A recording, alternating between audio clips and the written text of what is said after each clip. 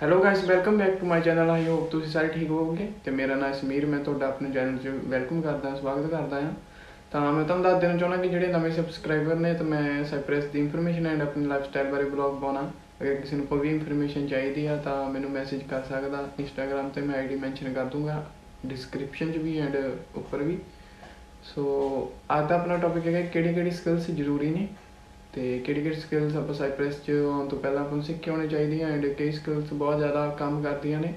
ਤਾਂ ਚਲੋ ਕਰਦੇ ਆ ਵੀਡੀਓ ਦੀ ਸ਼ੁਰੂਆਤ ਬਟ ਵੀਡੀਓ ਤੋਂ ਪਹਿਲਾਂ ਮੈਂ ਤੁਹਾਨੂੰ ਦੱਸ ਦੇਣਾ ਚਾਹੁੰਦਾ ਅਗਰ ਕਿਸੇ ਨੂੰ ਵਿਦਆਊਟ ਐਸ ਫਾਈਲ ਅਪਲਾਈ ਕਰਨੀ, ਤਾਂ ਮੈਨੂੰ ਵੀ ਇੰਸਟਾ ਤੇ ਮੈਸੇਜ ਕਰ ਸਕਦਾ, ਉਸ ਰਿਕਾਰਡਿੰਗ ਵੀ ਆਪਾਂ ਵੀਡੀਓ ਪਾਉਣੇ ਆ ਫਿਰ ਕੋਈ ਵੀ ਪਰਸਨਲ ਡਿਟੇਲ ਚਾਹੀਦੀ, ਤਾਂ ਜ਼ਰੂਰ ਇੰਸਟਾ ਤੇ ਮੈਸੇਜ ਕਰਿਓ, ਆਪਾਂ ਸਾਰਿਆਂ ਦਾ ਰਿਪਲਾਈ ਕਰਦੇ ਆ ਤੋ ਚਲੋ ਸ਼ੁਰੂ ਕਰਦੇ ਆ ਅੱਜ ਦੀ ਵੀਡੀਓ ਅਗਰ ਕਿਸੇ ਨੇ ਸਭ ਤੋਂ ਪਹਿਲਾਂ ਸਾਈਪ੍ਰੈਸ ਆਉਣਾ, ਤਾਂ ਰੰਗ ਦਾ ਕੰਮ ਵੀ ਬਹੁਤ ਵਧੀਆ ਇੱਥੇ ਚੱਲਦਾ ਹੈ ਅਗਰ ਤੁਹਾਨੂੰ ਰੰਗ ਦਾ ਕੰਮ ਵਧੀਆ ਆਉਂਦਾ ਆ ਤਾਂ ਤੁਸੀਂ ਇੱਥੇ ਕਿਸੇ ਵੀ ਠੇਕੇਦਾਰ ਨਾਲ ਜਾ ਸਕਦੇ ਆ ਤਾਂ ਅਗਰ ਠੇਕੇਦਾਰ ਮਤਲਬ 900 ਯੂਰੋ ਜਾਂ ਠੇਕਾ ਮਾਰਦਾ ਹੈ 900 ਯੂਰੋ ਜਾਂ 1200 1500 ਯੂਰੋ ਦਾ, ਤਾਂ ਉਸ ਰਿਗਾਰਡਿੰਗ ਤੁਸੀਂ ਆਪਣੀ ਦਿਹਾੜੀ ਦੇ 50 ਯੂਰੋ ਆਰਾਮ ਨਾਲ ਕਮਾ ਸਕਦੇ ਆ।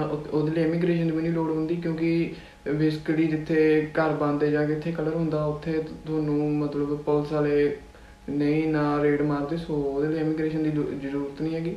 ਅਗਰ ਤੁਸੀਂ ਪੇਂਟ ਦਾ ਕੰਮ ਕਰਦੇ ਆ ਤਾਂ ਤੁਸੀਂ ਮੰਥਲੀ 1500 ਯੂਰੋ ਆਰਾਮ ਨਾਲ ਕਮਾ ਸਕਦੇ ਤੇ 50 ਰੁਪਏ ਪਰ ਡੇ ਤਾਂ ਅਗਰ ਗੱਲ ਕਰੀਏ ਆਪਾਂ ਨੈਕਸਟ ਵਰਕ ਦੀ ਤਾਂ ਕੰਸਟਰਕਸ਼ਨ ਵਰਕ ਵੀ ਇੱਥੇ ਬਹੁਤ ਵੱਡੀ ਫੀਲਡ ਆ। ਤੁਸੀਂ ਸਟੂਡੈਂਟ ਬੇਸ ਤੇ ਆਉਂਦੇ ਆ ਤਾਂ ਕੰਸਟਰਕਸ਼ਨ ਵੀ ਜੁਆਇਨ ਕਰ ਸਕਦੇ ਕੰਸਟਰਕਸ਼ਨ ਇੱਕ ਇਦਾਂ ਦੀ ਫੀਲਡ ਜਿਹਦੇ ਵਿੱਚ ਬਹੁਤ ਸਾਰੇ ਕੰਮ ਜਿੱਦਾਂ ਕਿ ਜੀਸੀਬੀ ਚਲਾਉਂਦੇ ਆ ਕਈ ਜਣੇ ਟਾਈਲਸ ਦਾ ਕੰਮ ਆ ਪਲਾਸਟਰ ਦਾ ਕੰਮ ਆ ਹੋਰ ਦੀਆਂ ਨੂੰ ਪੁੱਟਣੀਆਂ ਇੱਟਾਂ ਦਾ ਕੰਮ ਆ ਪਾਈਪ ਦਾ ਕੰਮ ਆ ਕੰਸਟਰਕਸ਼ਨ ਦਾ ਕੰਮ ਵੀ ਬਹੁਤ ਲੰਮੀ ਫੀਲਡ ਆ।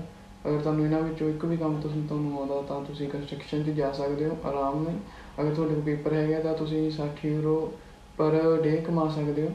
ਅਗਰ ਤੇ ਮੰਥਲੀ 1800 ਯੂਰੋ ਤੱਕ ਗੱਲ ਪਹੁੰਚ ਜਾਂਦੀ ਹੈ ਕੰਸਟਰਕਸ਼ਨ ਦਾ ਕੰਮ ਵੀ ਬਹੁਤ ਫਾਇਦੇਮੰਦ ਆ ਇੱਥੇ ਸਾਈਪ੍ਰੈਸ 'ਚ ਮੋਸਟ ਆਫ ਦੀ ਪੰਜਾਬੀ ਜਿਹੜੇ ਆ ਗਏ ਕੰਸਟਰਕਸ਼ਨ ਦਾ ਕੰਮ ਹੀ ਕਰਦੇ ਆ। ਐਂਡ ਕੰਸਟਰਕਸ਼ਨ 'ਚ ਇਹ ਵੀ ਆ ਕਿ ਤੁਹਾਨੂੰ ਈਜ਼ੀਲੀ ਵਰਕ ਮਿਲ ਜਾਂਦਾ ਕੋਈ ਵੀ ਤੁਹਾਨੂੰ ਲੈਂਗੁਏਜ ਸਿੱਖਣ ਦੀ ਲੋੜ ਨਹੀਂ ਬਸ ਟੂਲਸ ਦੇ ਨਾਲ ਆਉਣੇ ਚਾਹੀਦੇ ਆ ਜੋ ਕਿ ਕੰਪਲਸਰੀ ਆ। ਸੋ ਇਹ ਜ਼ਿਆਦਾ ਬੈਟਰ ਆ ਇੱਥੇ ਸਾਈਪ੍ਰੈਸ 'ਚ ਕੰਸਟਰਕਸ਼ਨ ਦਾ ਕੰਮ ਵੀ ਬਹੁਤ ਜ਼ਿਆਦਾ ਲੋਕੀ ਬਹੁਤ ਜ਼ਿਆਦਾ ਮਾਤਰਾ 'ਚ ਕਰ ਰਹੇ ਆ। ਸੋ ਹਾਂ ਕਿ ਇਦਾਂ ਕੰਸਟਰਕਸ਼ਨ ਦੇ ਕੰਮ 'ਚ ਵੀ ਬਹੁਤ ਫਾਇਦਾ ਗਰਮੀਆਂ ਨੂੰ ਥੋੜਾ ਔਖਾ ਹੁੰਦਾ ਹੈ।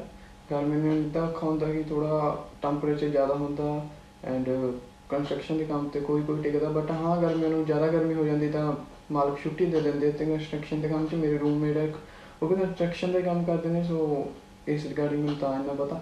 ਤਾਂ ਗੱਲ ਕਰੀਏ ਨੈਕਸਟ ਕੰਮ ਦੀ, ਜਿਹੜਾ ਤੁਹਾਨੂੰ ਸਿੱਖਣੇ, ਸਿੱਖ ਕੇ ਆਉਣਾ ਚਾਹੀਦਾ, ਉਹ ਕੀ ਹੈਗਾ ਕਿ ਸਲੂਨ ਦਾ। ਅਗਰ ਤੁਹਾਨੂੰ ਸਲੂਨ ਦਾ ਕੰਮ ਆਉਂਦਾ ਕਿ ਤੁਸੀਂ ਇੱਥੇ ਜ਼ਿਆਦਾ ਨਹੀਂ ਕਰ ਸਕਦੇ, ਜਿੱਦਾਂ ਕਿ ਅਗਰ ਤੁਹਾਨੂੰ ਇੱਥੇ ਸਲੂਨ 'ਚ ਇਹ ਕਿ ਤੁਹਾਨੂੰ ਗ੍ਰੀਕ ਆਉਣੀ ਚਾਹੀਦੀ ਹੈ, ਅਗਰ ਤੁਸੀਂ ਗ੍ਰੀਕ ਸਿੱਖਣੀ ਤਾਂ ਅਗਰ ਤੁਹਾਡਾ ਇੰਗਲਿਸ਼ ਲੈਵਲ ਗੁੱਡ ਆ ਤਾਂ ਤੁਸੀਂ ਸਾਈਪ੍ਰਸ 'ਚ ਗ੍ਰੀਕ ਜ਼ਿਆਦਾ ਮੈਟਰ ਕਰਦੀ ਹੈ ਤਾਂ ਤੁਸੀਂ ਨੈਟ ਇੰਟਰਨੈਟ ਤੋਂ ਕਿਉਂਕਿ ਇੰਸਟੀਚਿਊਟ ਗ੍ਰੀਕ ਨਹੀਂ ਸਿਖਾਉਂਦਾ, ਗੀ, ਗ੍ਰੀਕ ਇੱਕ ਪਪੂਲਰ ਲੈਂਗੁਏਜ ਨਹੀਂ ਹੈਗੀ। ਸੋ ਤੁਸੀਂ ਇੰਟਰਨੈਟ ਦੇ ਥਰੂ ਮਾੜੀ ਮੋਟੀ ਗ੍ਰੀਕ ਦੇ ਵਰਡ ਲਰਨ ਕਰ ਸਕਦੇ ਹੋ। ਜਿਸ ਰਿਕਾਰਡਿੰਗ ਤੁਹਾਨੂੰ ਥੋੜਾ ਗ੍ਰੀਕ ਬਾਰੇ ਪਤਾ ਲੱਗ ਸਕਦਾ। ਐਂਡ ਗ੍ਰੀਕ ਸਿੱਖ ਕੇ ਤੁਸੀਂ ਆਪਣਾ ਹੇਅਰ ਸਲੂਨ ਦੇ ਤੇ ਕੰਮ ਕਰ ਸਕਦੇ ਹੋ। ਇਦਾਂ ਨਹੀਂ ਕਿ ਤੁਸੀਂ ਸਿਰਫ ਸ਼ਾਪ ਤੇ ਲਾ ਕੇ ਕੰਮ ਕਰਨਾ ਅਗਰ ਤੁਹਾਡੇ ਇੱਥੇ ਨੌਨ ਚ ਹੈਗੇ ਨੇ। ਤਾਂ ਤੁਸੀਂ ਉਹਨਾਂ ਨੂੰ ਦੱਸ ਸਕਦੇ ਕਿ ਮੈਂ ਹੇਅਰ ਕਟਿੰਗ ਕਰਦਾ ਸੋ ਤੁਸੀਂ ਘਰ ਘਰ ਜਾ ਕੇ ਬਾਲ ਕੱਟ ਸਕਦੇ ਹੋ। ਬਹੁਤ ਸਾਰੇ ਮੁੰਡੇ ਇੱਥੇ ਆ ਕੇ ਸੈਲਫ ਸੈਲਫ ਸੈਲਫ ਕਟਿੰਗ ਦਾ ਕੰਮ ਕਰਦੇ ਨੇ, ਖੁਦ ਦਾ ਬਿਜ਼ਨਸ ਛੋਟਾ ਬਿਜ਼ਨਸ ਰਨ ਕਰਦੇ ਨੇ, ਸੋ ਇਦਾਂ ਤੁਸੀਂ ਖੁਦ ਦਾ ਬਿਜ਼ਨਸ ਵੀ ਰਨ ਕਰ ਸਕਦੇ ਹੋ, ਅਗਰ ਤੁਹਾਨੂੰ ਕਟਿੰਗ ਦਾ ਕੰਮ ਆਉਂਦਾ ਜੈਂਟਸ ਦਾ ਆਉਂਦਾ, ਸੋ ਜਾਂ ਲੇਡੀਜ਼ ਦਾ ਆਉਂਦਾ, ਤੁਸੀਂ ਘਰੇ ਜਾ ਕੇ ਵੀ ਕੰਮ ਕਰ ਸਕਦੇ ਇਸ ਵਿੱਚ ਵੀ ਬਹੁਤ ਪੈਸਾ, ਪਰ ਕਟਿੰਗ ਇੱਥੇ ਬੰਦੇ ਤੋਂ 10 ਯੂਰੋ ਲੈ ਜਾਂਦੇ ਆ, ਲੈ ਜਾਂਦੇ ਆ, ਅਗਰ ਤੁਸੀਂ ਹੋਰ ਫੇਸ਼ੀਅਲ ਜਾਂ ਹੋਰ ਕੁਝ ਵੀ ਕਰਦੇ ਹੋ, ਤਾਂ ਤੁਹਾਡੀ ਅਰਨਿੰਗ ਵੱਧ ਹੋ ਸਕਦੀ ਹੈ। ਹਾਂ, ਅਗਰ ਗੱਲ ਕਰੀਏ ਰੈਸਟੋਰੈਂਟ ਦੇ ਵਰਕ ਦੀ ਤਾਂ ਉਹ ਪਪੂਲਰ ਆ, ਕਿਉਂਕਿ ਜਦੋਂ ਅਸੀਂ ਇੰਡੀਆ 'ਚ ਸਾਨੂੰ ਤਾਂ ਚਾਕੂ ਫੜਨੇ ਵੀ ਨਹੀਂ ਆਉਂਦਾ ਸੀ ਬਟ ਹੁਣ ਇੱਥੇ ਆਏ ਕੰਮ ਦੀ ਵੈਲਿਊ ਪਤਾ ਲੱਗਦੀ ਕਿ ਰੈਸਟੋਰੈਂਟ ਦਾ ਕੰਮ ਬਹੁਤ ਜ਼ਿਆਦਾ ਆ। ਇਹ ਸਦਾ ਸਦਾਬਹਾਰ ਕੰਮ ਵਾਲਾ ਮੋਸਟ ਆਫ ਦੀ ਬੰਦੇ ਜਿਹੜੇ ਨਵੇਂ ਆ ਕੇ ਇੱਥੇ ਆ ਕੇ ਰੈਸਟੋਰੈਂਟ 'ਚ ਲੱਗਦੇ ਨੇ। ਐਂਡ ਰੈਸਟੋਰੈਂਟ 'ਚ ਅਗਰ ਤੁਹਾਡੀ ਪ੍ਰਮੋਸ਼ਨ ਹੋ ਜਾਂਦੀ ਤਾਂ ਤੁਹਾਨੂੰ ਸਰਵਿੰਗ ਤੇ ਜਾਂ ਰਿਸੈਪਸ਼ਨ ਤੇ ਬਿਠਾ ਦਿੱਤਾ ਜਾਂਦਾ, ਅਗਰ ਤੁਸੀਂ ਬਹੁਤ ਜ਼ਿਆਦਾ ਮਤਲਬ ਕੰਮ 'ਚ ਵਧੀਆ ਐਕਸਪਰਟ ਹੋ ਤਾਂ ਤੁਹਾਨੂੰ ਅੱਗੇ ਭੇਜ ਦਿੱਤਾ ਜਾਂਦਾ। ਹਾਂ, ਅਗਰ ਤੁਹਾਡਾ ਵੀਜ਼ਾ ਲੱਗ ਚੁੱਕਾ ਜਾਂ ਤੁਹਾਡੀ ਇਨਟੇਕ ਲੇਟ ਆ, ਤਾਂ ਤੁਸੀਂ ਕੁਕਿੰਗ ਕਲਾਸਿਸ ਲੈ ਕੇ ਵੀ ਆ ਸਕਦੇ ਹੋ ਤੇ ਹਾਂ, ਪਹਿਲਾਂ ਪਹਿਲਾਂ ਤੁਹਾਨੂੰ ਇਹ ਨਹੀਂ ਕਿ ਸਿੱਧਾ ਕੁਝ ਡਿਸ਼ਸ ਬਣਾਉਣ ਲਾ ਦੂਗੇ, ਤੁਹਾਨੂੰ ਪਹਿਲਾਂ ਉੱਥੇ ਵੀ ਜਾ ਕੇ ਟ੍ਰੇਨਿੰਗ ਦਊਗੇ। ਤਾਂ ਇੱਥੇ ਤੁਹਾਨੂੰ ਟ੍ਰੇਨਿੰਗ ਦਊਗੇ ਐਂਡ ਅਗਰ ਉਹਨਾਂ ਨੂੰ ਲੱਗੇ ਕਿ ਤੁਸੀਂ ਬੈਟਰ ਹੋ ਤਾਂ ਤੁਹਾਨੂੰ ਅੱਗੇ ਲਾ ਦਿੱਤਾ ਜਾਊਗਾ। ਜਿੱਦਾਂ ਕਿ ਤੁਸੀਂ ਇੱਥੇ ਪੀਜ਼ਾ ਹਟ ਨੇ ਅਲਫਾ ਪੀਜ਼ਾ ਨੇ, ਤਾਂ ਹੋਰ ਵੀ ਪੀਜ਼ੇ ਦੀਆਂ ਬਹੁਤ ਕੰਪਨੀਆਂ ਨੇ ਟੋਰਾਂਟੋ ਪੀਜ਼ਾ ਨੇ, ਤਾਂ ਤੁਸੀਂ ਉਸ 'ਚ ਵੀ ਕੰਮ ਕਰ ਸਕਦੇ ਹੋ ਐਂਡ ਆਪਣਾ ਬਿਜ਼ਨਸ ਰਨ ਕਰ ਸਕਦੇ ਹੋ। ਉਸ 'ਚ ਵੀ ਤੁਸੀਂ ਆਪਣੀ 1200 ਸੈਲਰੀ ਮੰਥਲੀ ਚੱਕ ਸਕਦੇ ਹੋ, ਆਰਾਮ ਨਾਲ 800 ਸੈਲਰੀ ਜਾਂ 900 ਸੈਲਰੀ ਇਹ ਡਿਪੈਂਡ ਕਰਦਾ ਕਿ ਤੁਹਾਡਾ ਰੈਸਟੋਰੈਂਟ ਕਿੱਡਾ ਵੱਡਾ ਆ ਮਾਲਕ ਕਿੰਨਾ ਚੰਗਾ ਜਾਂ ਸਟਾਫ ਕਿੰਨਾ। ਉਸ ਰਿਗਾਰਡਿੰਗ ਕੰਮ ਕਰਦਾ ਜਾਂ ਤੁਹਾਡੀ ਪੋਜੀਸ਼ਨ ਕੀ ਆ, ਉਸ ਰਿਗਾਰਡਿੰਗ ਤੁਸੀਂ ਵਧੀਆ ਅਰਨਿੰਗ ਕਰ ਸਕਦੇ ਹੋ ਰੈਸਟੋਰੈਂਟ ਦੇ ਕੰਮ ਤੋਂ ਵੀ। ਆਪਾਂ ਉਹ ਗੱਲ ਕਰਦੇ ਹਾਂ ਕਿ ਹੁਣ ਤਾਂ ਇਹ ਹੋ ਗਿਆ ਕਿ ਤੁਹਾਨੂੰ ਜਿਹੜੀ ਅਰਨਿੰਗ ਕਿਸ ਰਿਗ- ਕਿਸ ਚੀਜ਼ ਤੋਂ ਕਿੰਨੀ ਅਰਨਿੰਗ ਆਉਂਦੀ ਹੈ ਕੁਝ ਕੰਮ ਸੀਗੇ ਜੋ ਤੁਹਾਨੂੰ ਸਿੱਖੇ ਹੋਣੇ ਚਾਹੀਦੇ। ਅਗਲੀ ਆਪਾਂ ਗੱਲ ਕਰਦੇ ਕਿ ਜਿਹੜੀਆਂ ਚੀਜ਼ਾਂ ਤੁਹਾਨੂੰ ਇੱਥੇ ਜ਼ਰੂਰੀ ਆ, ਜੋ ਵੀ ਤੁਹਾਨੂੰ ਆਉਣੀ ਚਾਹੀਦੀਆਂ basically first of all English ਹੋਣੀ ਚਾਹੀਦੀ ਆ। ਅਗਰ ਤੁਹਾਡਾ ਆਫ ਲੈਟਰ ਆ ਗਿਆ ਤਾਂ ਤੁਹਾਡੀ ਇੰਗਲਿਸ਼ ਵੀਕ ਆ ਸੋ ਪਲੀਜ਼ ਇੰਗਲਿਸ਼ ਆਪਣੀ ਵਧੀਆ ਕਰੋ। ਅਗਰ ਤੁਹਾਡੀ ਇੰਗਲਿਸ਼ ਵਧੀਆ, ਤਾਂ ਤੁਹਾਨੂੰ ਕਿਤੇ ਵੀ ਈਜ਼ੀਲੀ ਜੋਬ ਮਿਲ ਸਕਦੀ ਹੈ ਕਿਉਂਕਿ ਇੰਗਲਿਸ਼ ਨਾਲ ਤੁਹਾਨੂੰ ਵਧੀਆ ਜੋਬ ਮਿਲ ਸਕਦੀ ਹੈ ਹਾਂ ਗ੍ਰੀਕ ਥੋੜੀ ਡਿਫਿਕਲਟ ਲਰਨ ਕਰਨੀ ਸੋ ਇੰਗਲਿਸ਼ ਇੰਟਰਨੈਸ਼ਨਲ ਲੈਂਗੁਏਜ ਆ। ਅਗਰ ਆਪਾਂ ਇੰਗਲਿਸ਼ ਸਿੱਖ ਕੇ ਆਉਂਦੇ ਆ, ਤਾਂ ਆਪਣੇ ਲਈ ਬਹੁਤ ਫਾਇਦਾ ਹੁੰਦਾ। ਆਪਾਂ ਨੂੰ ਕਿਸੇ ਅੱਗੇ ਪਿੱਛੇ ਘੁੰਮਣ ਦੀ ਲੋੜ ਨਹੀਂ ਹੈਗੀ। ਆਪਾਂ ਸਿੱਧੇ ਹੀ ਜਾ ਕੇ ਡਾਇਰੈਕਟਲੀ ਗੱਲ ਕਰ ਸਕਦੇ ਆ ਬੰਦੇ ਨਾਲ। ਜਾਂ ਅਗਰ ਕੋਈ ਵੀ ਤੁਹਾਡਾ ਇਸ਼ੂ ਹੁੰਦਾ ਜਾਂ ਕੁਝ ਸਾਰੇ ਬੰਦੇ ਇੱਥੇ ਦੇਖੇ ਨੇ ਜਿਨ੍ਹਾਂ ਦੀ ਇੰਗਲਿਸ਼ ਵੀਕ ਆ ਸੋ ਉਹ ਇਹ ਕੀ ਕਰਦੇ ਨੇ ਕਿ ਜਿੱਦਾਂ ਵੀ ਕੋਈ ਵੀ ਹੋਰ ਹੋ ਗਿਆ ਉਹਨੂੰ ਕਹਿੰਦਾ ਬਾਈ ਮੇਰੇ ਕੰਮ ਕਰਾ ਦੇ ਸੋ ਆ ਤੋਂ ਇੱਥੇ ਜਾ ਕੇ ਇਹਨਾਂ ਮਿਲਣਾ ਕਿਉਂਕਿ ਉਹਨਾਂ ਨੂੰ ਇੰਗਲਿਸ਼ ਵੀਕ ਹੁੰਦੀ ਸੋ ਇਦਾਂ ਦੀ ਪ੍ਰੋਬਲਮ ਤੁਸੀਂ ਨਾ ਫੇਸ ਕਰੋ।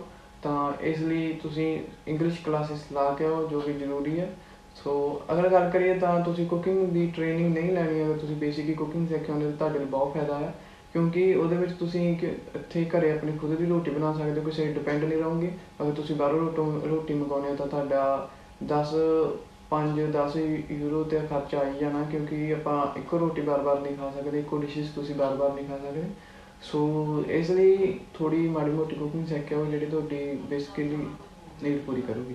ਅੱਜ ਦੀ ਆਪਣੀ ਵੀਡੀਓ ਇੱਥੇ ਖਤਮ ਹੁੰਦੀ ਆ। ਤੁਹਾਨੂੰ ਮਿਲਦੇ ਇੱਕ ਹੋਰ ਨਵੀਂ ਵੀਡੀਓ 'ਚ। ਅਗਰ ਵੀਡੀਓ ਪਸੰਦ ਆਈ, ਚੈਨਲ ਨੂੰ ਸਬਸਕ੍ਰਾਈਬ ਜਰੂਰ ਕਰਿਓ ਵੀਡੀਓ ਨੂੰ ਸ਼ੇਅਰ ਕਰਿਓ ਕਮੈਂਟ ਕਰਿਓ ਲਾਈਕ ਕਰਿਓ।